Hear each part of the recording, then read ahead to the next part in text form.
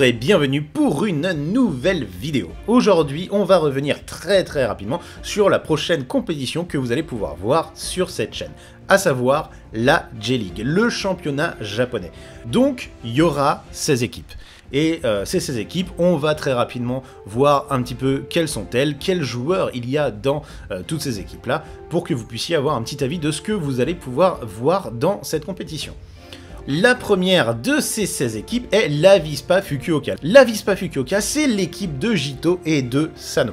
À leur côté, j'ai rajouté Kazami et Furukawa, la futsal combi, parce qu'on le voit, quand la futsal combi arrive dans le manga, le premier qui s'intéresse à leur technique, c'est Sano. Il essaye de les copier, il regarde des vidéos pour essayer de comprendre leurs gestes, et je me suis dit que ça pouvait donner un truc hyper intéressant. Ce trio qui essaye à la fois de copier les techniques, qui sont à la fois des rivaux, mais qui vont probablement développer une certaine complicité, euh, au moins technique en tout cas.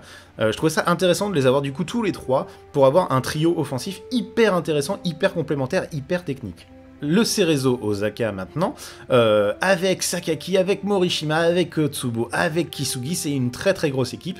Il y a du beau monde à tous les postes, avec une équipe très très solide. Ça manque un poil de puissance devant, on sait que Kisugi c'est pas le meilleur buteur, mais quand même il est capable de faire quelque chose. Ce sera peut-être pas un cador de ce championnat, mais je pense qu'ils peuvent faire quand même de très très bonnes choses. Ça risque d'être assez intéressant de les suivre. La troisième équipe, Hokkaido Kansadole Sapporo, avec évidemment Ikaru Matsuyama et euh, son ancien coéquipier de la Furano, Oda, en attaque. J'ai rajouté deux joueurs en plus, Teryuki Monyo et Yasuaki Kono, qui sont euh, des coéquipiers de Sawada lorsqu'il emmène l'équipe du Japon pour les qualifications de la World Youth. C'est l'équipe qui en termes d'âge est en dessous de celle qu'on connaît. On connaît la génération en or, et là c'est la génération précédente. Monio et Kono du coup ne sont pas énormément développés dans le manga, malheureusement. On a pu les voir qu'un tout tout petit peu, mais c'est des joueurs qui m'intéressaient, et je trouvais ça cool de les mettre à Hokkaido avec Matsuyama, parce que pour moi Matsuyama, en tant que vice-capitaine de l'équipe du Japon, euh, pouvait avoir ce rôle de leader, pouvait avoir ce rôle de mentor. Je, le voyais bien prendre sous son aile deux gamins pour essayer de les former, pour essayer de,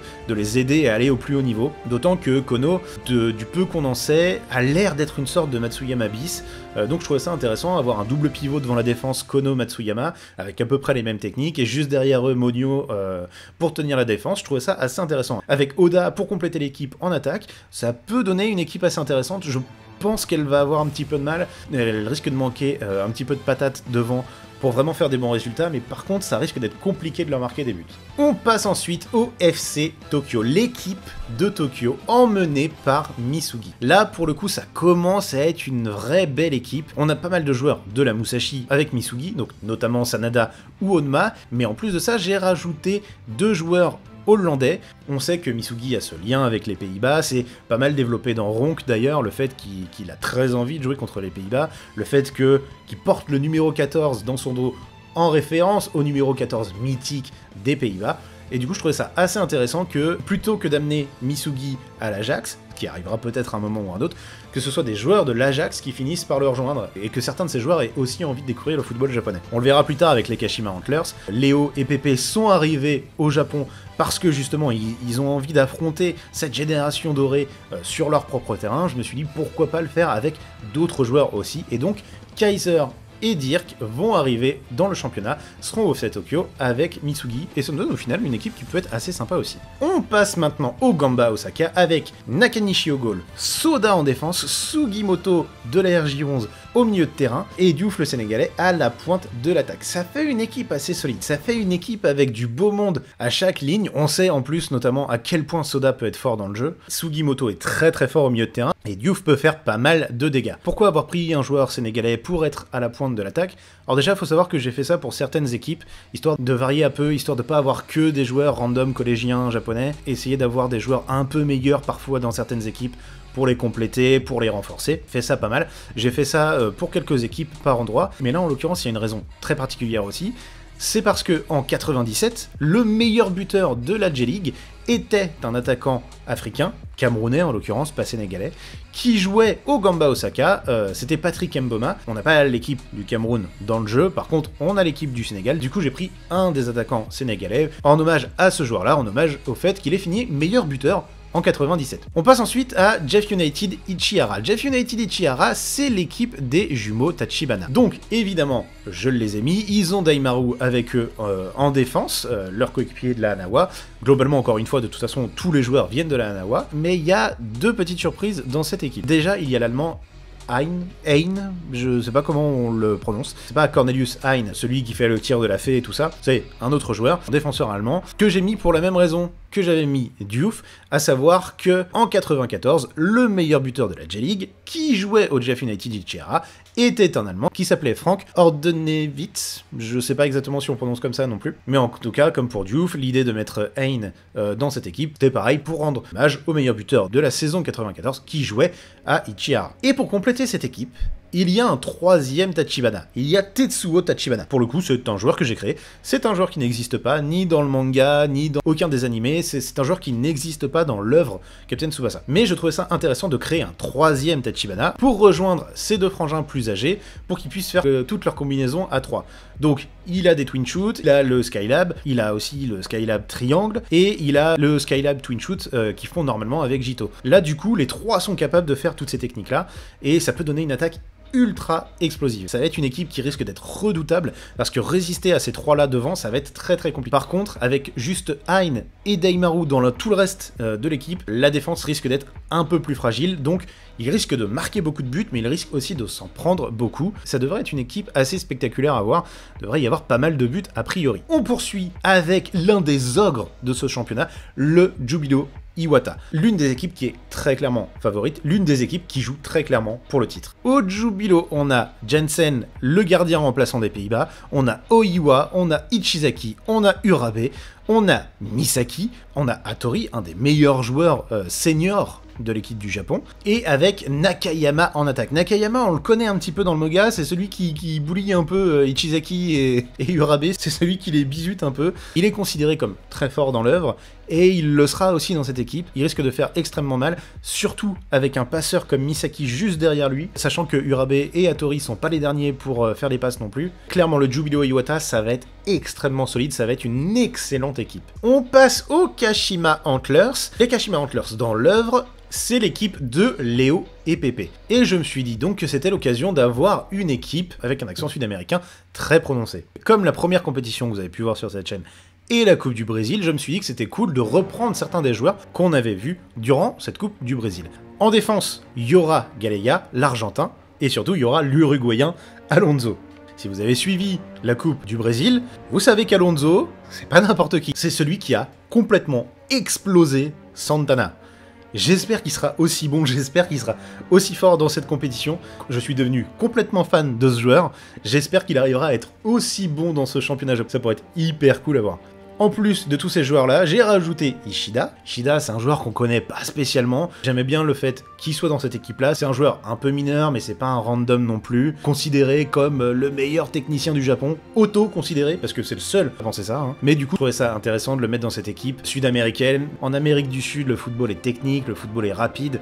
Je trouvais ça intéressant d'avoir un joueur un peu de ce calibre-là pour compléter. Et donc, en plus de tous les joueurs qui ont été, j'ai rajouté Jorginho aussi. Jorginho qui jouait euh, à Sao Paulo. Après la Coupe du Brésil, il a été transféré au Kashima Antlers pour rejoindre donc toute cette armada sud-américaine.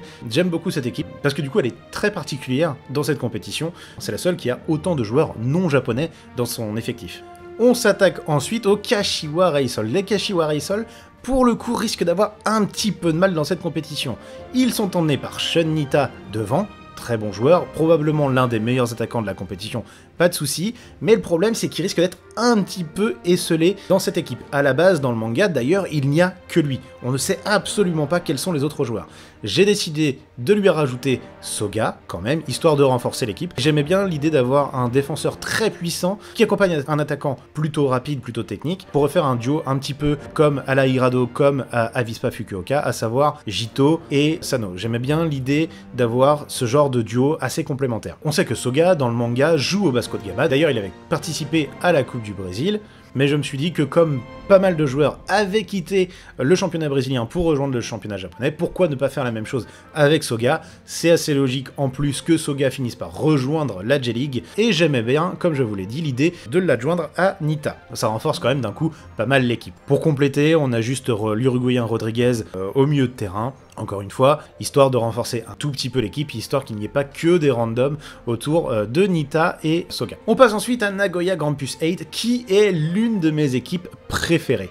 Alors, elle paye pas nécessairement de mine comme ça quand on la regarde, il euh, n'y a pas forcément énormément de monde dans l'œuvre, on sait juste qu'il y a Ken Wakachimasu, qui est le gardien de cette équipe. Mais il y aura une petite particularité, c'est que Ken pourra jouer ou gardien ou attaquant. Comme dans l'œuvre, il peut jouer les deux postes, je trouve ça hyper intéressant d'avoir un joueur qui soit capable de tenir ces deux postes-là, et évidemment du coup, dans euh, cette compétition, il pourra faire les deux. Alors il ne fera pas toujours les deux, parfois il ne sera que gardien, parfois il ne sera que attaquant, parfois il sera les deux, ça dépendra des fois, ça dépendra des matchs. Mais en tout cas, il y a cette possibilité-là de le faire changer de poste. En plus de lui, il y a l'américain Joshua. Joshua, donc, comme pour euh, Diouf et Hain, c'est euh, encore une fois la même chose. Le meilleur buteur de la J-League en 2010 et 2011, c'était un attaquant américain qui s'appelait lui aussi Joshua et qui jouait à Nagoya Grampus 8. Donc l'hommage, encore une fois, était trop parfait, était trop simple. D'autant que là, pour le coup, en plus, ils ont le même nom, donc c'est vraiment parfait. Donc Joshua euh, sera dans cette. Et pour finir, il y a le milieu de terrain mexicain, Zaragoza, euh, histoire de mettre un nom un petit peu connu de la licence, venir renforcer cette équipe. Il y a quelques joueurs comme ça qu'on connaît dans le manga qui ont rejoint certaines des équipes. En l'occurrence, là, c'est le Mexicain Zaragoza. On poursuit avec Sanfrecce Hiroshima, avec deux joueurs italiens dans cette équipe, Matteo au milieu de terrain et Bassarelli en défense. Comme je vous l'ai dit, je ne voulais pas qu'il y ait que des joueurs japonais, je ne voulais pas qu'il y ait que des joueurs qui soient issus des équipes collèges japonaises, je voulais qu'il y ait certains joueurs à un niveau un petit peu plus élevé, et du coup j'ai pris quelques joueurs un peu mineurs de l'Italie pour rejoindre cette équipe-là. D'autant qu'à la base, c'est une équipe qui est très très faible, c'est une équipe qui avait bien besoin d'un petit peu de renfort, parce que à part Takasugi en défense, eh bah, il y avait personne. Donc je me suis permis de rajouter ces deux joueurs italiens pour essayer de renforcer l'équipe. À leur côté, j'ai rajouté le Sénégalais Sek et le Thaïlandais euh, Sakon Konsawat. Euh, c'est pas le seul Konsawat qui sera dans le championnat. Euh, je trouvais ça intéressant de pas les mettre dans la même équipe. En l'occurrence, Sakon est donc à Hiroshima. Ça reste malgré tout une équipe relativement faible, avec les joueurs qui proviennent de sélection nationale renforce un petit peu l'équipe. Ça n'en reste pas moins que ce sera pas un des cadors du championnat. Et à mon avis, ils vont pas mal galérer à faire de belles performances quand même. On passe ensuite à la Shimizu S-Pulse, l'équipe de Morisaki qui sera protégé par une charnière Kishida et Nishio. Et ça aurait pu être à peu près tout parce que finalement dans le manga, eh ben, on sait pas grand chose de cette équipe. Donc j'ai rajouté encore quelques autres joueurs, à savoir l'Argentin Iglesias, comme je l'ai fait pour d'autres équipes, rajouter quelques joueurs des sélections nationales, et le Thaïlandais Farhan Konsawat. On a donc le deuxième Konsawat, euh, comme je l'ai dit, ils ne sont pas dans la même équipe. À savoir que je n'ai malgré tout pas mis le troisième, j'avais bien l'idée que finalement il n'y en ait que deux qui aient réussi à se faire une place dans euh, ce championnat. Est-ce que le troisième a réussi à percer ailleurs? On ne sait pas. Est-ce qu'il joue en Thaïlande? Est-ce qu'il joue euh, dans un autre championnat? On ne sait pas. J'aimais bien l'idée qu'il y en ait deux qui réussissent à intégrer le championnat japonais, mais pas nécessairement le troisième. On passe ensuite à l'équipe de Tokyo Verdy 1969. Euh, ça se prononce probablement pas comme ça, mais on va le prononcer à la française. Ça va être une des grosses équipes de ce championnat, notamment parce que le milieu de terrain est monstrueux. Déjà, on a le capitaine et meneur de jeu, euh, Yumikura. Yumikura, quand on l'avait vu au moment de la RJ7, on avait vu qu'il avait énormément de talent, il était capable de taper des drive shoots, c'était un excellent joueur euh, techniquement notamment, on sait qu'il risque de faire de très très bonnes choses, qui, qui risque d'être très très bon dans cette équipe, mais en plus, je lui ai adjoint un double pivot Shingo Bobang, parce que je me suis dit qu'après leur très très bonne performance en Italie en série C, et je me suis dit que l'Inter aurait pu être intéressé pour reprendre Shingo, mais euh, une étape intermédiaire avant de rejoindre le plus haut niveau en série A aurait pu être intéressante. La J-League aurait pu constituer cette étape intermédiaire et je me suis dit que Shingo aurait pu apprécier aussi de jouer euh, sur les terres de son pays natal aussi, ça aurait pu l'intéresser. Et évidemment, si j'amène Shingo dans, une équipe, je vais amener Bobang aussi. J'adore le duo qu'il formait à Albc, je voulais pas euh, nécessairement le séparer, je trouvais ça cool qu'ils rejoignent tous les deux une équipe. Donc du coup, ça fait l'un des meilleurs milieux de terrain du championnat. Shingo, Bobang, Yumikura, ça risque d'être très très fort. En plus, devant eux, il y a Hajime Taki, euh, la fusée sur le côté gauche, qui risque d'être très très intéressant, bien évidemment. Ça risque d'être un peu léger en attaque parce que c'est le seul qui est à peu près bon. Les deux autres évidemment sont des randoms. Lui-même n'est pas le meilleur buteur possible, mais avec un milieu de terrain d'un aussi grand talent, l'équipe devrait quand même parfaitement s'en sortir. Après Tokyo Verdy, qui sera donc une des meilleures équipes du championnat, on passe encore un cap avec peut-être la meilleure équipe du championnat, probablement à égalité avec le Jubilo Iwata, à savoir les Urawa Red Diamonds ça va être une énorme équipe, ça va être un véritable colosse dans ce championnat, ça va être très très compliqué de leur faire du mal. Au milieu de terrain, on a Okano et Sawada en meneur de jeu. À la pointe de l'attaque, on aura le Brésilien Gustavo. Et derrière eux, en défense, on aura une charnière centrale monstrueuse avec les deux frangins Igawa. Ça risque d'être monstrueux. Dans le manga, Ayato jouait déjà dans cette équipe. On sait que Gakuto, lui, évoluait en Amérique du Sud. Je trouvais ça intéressant de le rapatrier au Japon et de le faire jouer dans l'équipe de son frère. Je trouve que le fait d'avoir cette équipe avec cette charnière centrale composée des deux frères peut être hyper intéressant à suivre et ça donne vraiment un véritable monstre dans ce championnat. Les Urawa Red Diamonds vont être très très compliqués à manœuvrer pour les autres équipes on arrive dans les dernières équipes, on passe au Vissel Kobe, une équipe qui paye pas nécessairement de mine, mais qui va être redoutable parce qu'elle possède peut-être la meilleure attaque du championnat, avec Sorimachi, Kazu et Leandro. Euh, Leandro et Kazu, on les a vus évoluer tous les deux dans la Coupe du Brésil, on a vu qu'ils étaient très très bons tous les deux, et complétés par l'attaquant de la Toho, ça peut faire des ravages, les trois sont surpuissants, ça devrait être hyper intéressant de les voir évoluer tous les trois ensemble.